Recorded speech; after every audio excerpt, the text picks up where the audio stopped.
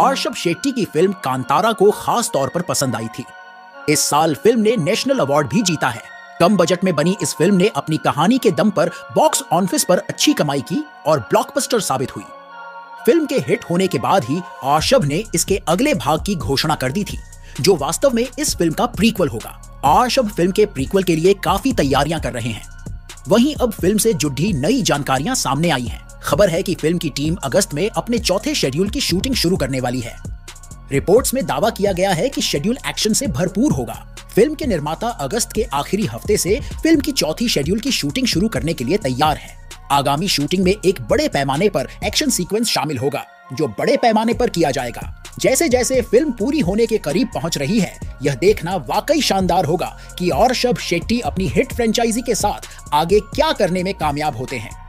Film को पहले किस्त का प्रीक्वल माना जा रहा है, और यह पंचुरली देवा की कथा को दिखाएगी, जो कदम्ब युग में सेठ है। कांतारा का प्रीक्वल इन दिनों चर्चा में है। बताया गया है कि इसका बजट 100 करोड़ रुपए है, जो एक एक बार फिर दर्शकों को मंत्रमुग्ध करने की तैयारी में है। कंतारा में बड़े पैमाने पर दिव्य देवताओं पंजुरली और गुलिगा और क्षेत्र के राजा के स्वामित्व वाली भूमि से उनके संबंध को दर्शाया गया है। प्रीक्वल को लगभग एक सहस्राब्दी पहले का माना जाता है, इसीलिए अटकलें हैं कि फ़िल्म में देवताओं की संभावित उत्पत्ति का पता लगाया जा सकता है। हालाँकि औषभ ने आधिकारिक तौर पर यह खुलासा नहीं किया है कि वह किस समय सीमा या विषय वस्तु पर काम कर रहे हैं।